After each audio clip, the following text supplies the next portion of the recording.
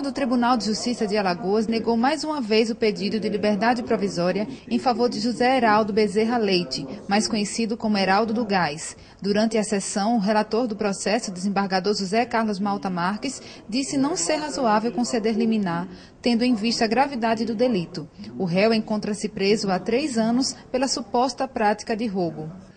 Esse senhor, é, ele responde a nada menos do que 14 ações penais, a maioria delas por roubo e extorsão.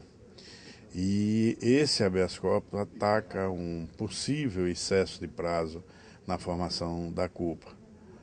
O tribunal entendeu hoje que o excesso não restou caracterizado porque eh, a causa que versou o habeas corpus e que ele está respondendo, é uma causa extremamente complexa, com vários réus, com um grande número de testemunhas arroladas, inclusive pela própria defesa dele e dos outros réus, que demandou uma série de providências administrativas por parte do magistrado, tipo expedição de cartas precatórias, etc., o que, por a, pela aplicação do princípio constitucional da razoabilidade, justifica um período de tempo, acaso mais estendido na formação da culpa.